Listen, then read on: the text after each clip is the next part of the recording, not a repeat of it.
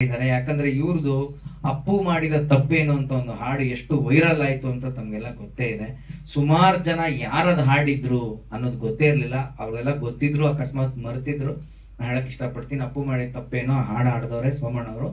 ಅದ್ಭುತವಾಗಿ ತಾಯಿ ಸೆಂಟಿಮೆಂಟ್ ಒಂದು ಸಾಂಗು ನಮ್ ಹಾಡಿದ್ದಾರೆ. ಹಾ ಹಾ.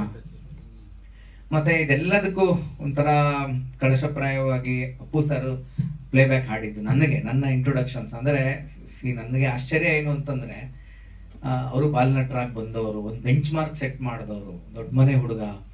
ಇಷ್ಟೆಲ್ಲ ಇದ್ದವರು, ನಾನು ಬಾಲ್ನಟ್ನಾಗಿ ಬಂದೆ. ಇಷ್ಟು ವರ್ಷ ಆದ್ಮೇಲೆ ನಾನೊಂದು ಸಿನಿಮಾ ಮಾಡ್ತೀನಿ ಲೀಡಾಗಿ ನನ್ನ ಇಂಟ್ರೊಡಕ್ಷನ್ಗೆ ಅವರೇ ಹಾಡ್ಬೇಕಾದ್ ಬಂತ ಅಂತ. ಏನಪ್ಪ ಇದು ಅಂತ. ಅವತ್ತು ಹಾಡಿದಾಗ ಒಂದು ಖುಷಿ ಆದರೆ, ಬಟ್ ಅವ್ರನ್ನ ಅವ್ರು ಕಳ್ಕೊಂಡ್ಮೇಲೆ ಏನಿದು ವಿಧಿ ಅನ್ನಿಸ್ತು ನನಗೆ ಅಂದ್ರೆ ಇತ್ತ ನನಗೊಂದು ನನಗೊಂದು ಋಣ ಇತ್ತಲ್ಲ, ಅವರು ಪ್ಲೇಬ್ಯಾಕ್ ಹಾಡೋದು ನನಗೆ ಏನೋ ಥರ. ಆ ಒಂದು ಖುಷಿಯ ಒಂದು ಸಾರ್ಥಕತೆ, ಮತ್ತೆ ನೆವರ್ ಗೆಟಿಂಗ್ ಆಪರ್ಚುನಿಟಿ ಅಂತಕ್ಕಂಥದ್ದು. ಮತ್ತೆ ನನ್ನ ಲೈಫಲ್ಲಿ ಒಂದು ಬೆಂಚ್ ಮಾರ್ಕ್ ಹೇಗೆ, ಭವ್ಯ ಮೇಡಮ್ ಒಂದು ಡೇಟ್ ಕೊಟ್ಟು ಒಪ್ಕೊಂಡ್ರು. ಹಾಗೆ ಅಪ್ಪು ಸರ್ ಒಂದು ಇಂಟ್ರೊಡಕ್ಷನ್ ಸಾಂಗ್ ಹಾಡ್ತಾರೆ. ಅದು ನನ್ನ ಮೊದಲನೇ ಸಾಂಗ್ ಆಗುತ್ತೆ. ಒಬ್ಬ ಇಂಡಿವಿ ಇಂಡಿಪೆಂಡೆಂಟ್ ಹೀರೋ ಆಗಿ ಮಾಡಿರುವಂಥ ಮೊದಲನೇ ಸಾಂಗ್ಗೆ ಅವ್ರ ವಾಯ್ಸ್ ಅಂತಕ್ಕಂಥದ್ದು ನನಗೆ ಅದು ಆಶೀರ್ವಾದವೇ ಸರಿ ಅಂತ ಹೇಳಕ್ ಇಷ್ಟಪಡ್ತೀನಿ. ಸೊ ಹಾಗಾಗಿ ಇಷ್ಟಿದೆ. ಭೇಟಿ ಆದಾಗ ಆಕ್ಚುಲಿ ನಾವು ಆಕಾಶದಲ್ಲಿ ರೆಕಾರ್ಡ್ ಮಾಡಿದ್ದು. ಸಡನ್ ಆಗಿ ಬಂದ್ರು ಫಸ್ಟ್ ಫಸ್ಟ್ ಟಕ್ ಟಕ್ ಅಂತ ಬಂದ್ರು. ಅವ್ರಿಗೆ ಆಕ್ಚುಲಿ ಗೊತ್ತಿರ್ಲಿಲ್ಲ. ನನ್ ನಾನ್ ಇರೋ ನನ್ಗ ಆಡ್ತಾ ಇದಾರೆ ಅಂತ. ಅಲ್ಲಿ ಬಂದಾಗ ಏ ನನ್ನದೇನು ಸರ್ ನಂದೇ ನಂದೇ ಸಾಂಗ್ ಸರ್ ನಮ್ಮ ಫಿಲಮ್ಗೆ ನನಗೆ ಆಡ್ತಿದೆ ಏ ಹೌದೇನ್ರಿ ನಿಮ್ಗೆ ಆಡ್ತಾ ಏನ್ರಿ ಸೂಪರ್ ಸೂಪರ್ ಬನ್ರಿ ಬನ್ರಿ ಅಂತಂದ್ರು ಸರಿ, ಒಳಗಡೆ ಹೋದ್ರು, ನಾವು ಇಂಜಿನಿಯರಿಂಗ್ ರೂಮ್ ಅಲ್ಲಿ ಕಡೆ ಕುತ್ಕೊಂಡು ಎಲ್ಲ ಕೇಳಿಸ್ಕೊಂತಾ ಇದ್ವಿ. ಒಂದು ವರ್ಷನ್ ಹಾಡಿದ್ರು. ಇನ್ನೊಂದು ವರ್ಷನ್ ಆಕ್ಚುಲಿ ರ್ಯಾಪ್ ವರ್ಷನ್ ಒಂದಿದೆ. ಅದನ್ನು ಹಾಡಿದ್ರು ಪಾಪ. ಅದು ನೋಡಿ ಆಚೆ ಬಂದ ಆಮೇಲೆ ಆ ಕ್ಷಣದಲ್ಲಿ ಅಲ್ಲಿ ತಪ್ಕೊಂಡು ತಗೊಂಡಿರೋಂಥ ಫೋಟೋ ಇವತ್ತಿಗೂ ಇದೆ. ಅದನ್ನೆಲ್ಲ ಹಾಕಿದ್ವಿ ನಾವು. ಮತ್ತೆ ಹಾಕ್ತೀವಿ ಅದನ್ನ. ಸೊ ಅವಾಗ ಅವರು ಹೇಳಿದ್ ಒಂದೇನೆ. ಹೇಗೆ ಕೈ ಕೊಡ್ರಿ, ನಾನು ನಿಮ್ಗೆ ಇನ್ನೂ ಹಾಡುಗಳು ಆಡ್ಬೇಕ್ರಿ ಈ ತರ. ನಿಮ್ಗೆ ಇನ್ನೂ ನಾನು ಹಾಡಾಡೋ ತರ ಆಗ್ಲಿ ಅಂತ ಅಂದ್ರು. ಸೊ ಅದನ್ನೆಲ್ಲ ನೆನ್ಸ್ಕೊಂಡಾಗ ಇವಾಗ ಏನಿದೆ? ಅದನ್ನ ನಾನು ಹೇಳಿದ್ ಏನ್ ವಿಧಿ ಇದು?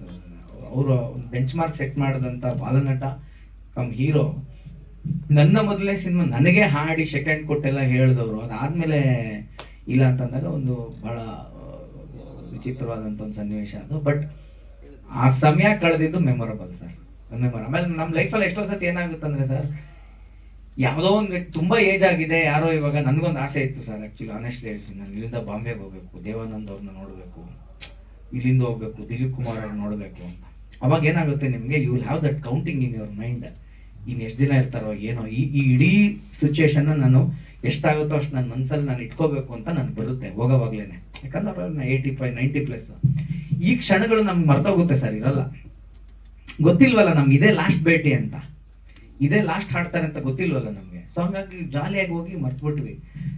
ಸೊ ಇವತ್ತಿಗೆ ರಿವೈಂಡ್ ಮಾಡ್ಕೊಂಡು ರಿವೈಂಡ್ ಮಾಡ್ಕೊಂಡು ಅದನ್ನೆಲ್ಲ ಎಷ್ಟಪ್ಪ ರಿಫ್ರೆಶ್ ಆಗಿ ಇಟ್ಕೊಳ್ಳೋದು ಅಂತ ಮನಸ್ಸು ರಿಫ್ರೆಶ್ ಇಟ್ಕೊಳ್ಳೋಕೆ ನೋಡುತ್ತೆ. ಏನು ಸಾಂಗ್ ಲೈನ್ ಸರ್ ಅದು ಓಪನಿಂಗ್ ನಾ ಕೋಳಿಕೆ ರಂಗ ಅದು ಕುಕ್ಕು ಕುಕ್ಕು ಕುಕ್ಕು ನಾ ಕೋಳಿಕೆ ರಂಗ ನೋಡುದಲ್ಲ ಅದೇ? ಹಾ.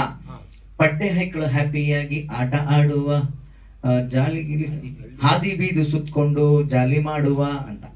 ಆ, ಹಾ, ಎಲ್ಲ ಇದೆ ಸರ್. ವಿಲೇಜ್ಗೆ ತಕ್ಕಂಗೆ ಒಂದು ಮಾಸ್ ಸಾಂಗ್ ಅಂತ ಹೇಳಿದ್ರೆ ಖಂಡಿತ ತಪ್ಪಾಗಲ್ಲ. ಒಬ್ಬ ಮಾಸ್ ಹೀರೋ ಒಂದು ಹಾಡ್ ಕೊಟ್ರು ನನಗೆ. ಸೊ ಅದು ನನ್ನ, ಏನೋ ನನ್ನ ಅದೃಷ್ಟ ಅಂತ. ವರ್ಷ